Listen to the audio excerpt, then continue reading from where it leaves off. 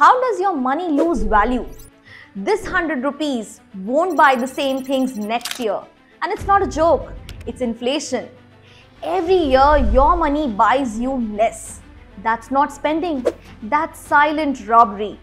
Inflation means price rise, not because things get better, but because the value of the money drops. Think about it. Last year, your grocery bag costs 1000 rupees, and this year, 1200 rupees. Same items, nothing extra. Why? Because fuel got costlier, transportation got pricier, and demand surged. Supply shrank, and boom, inflation eats into your pocket. And if your salary didn't increase this year, you actually got poorer, even if the numbers stayed the same. Want to fight inflation? Don't just save, invest, grow, and learn. Learn more economics every day with Ecoholics.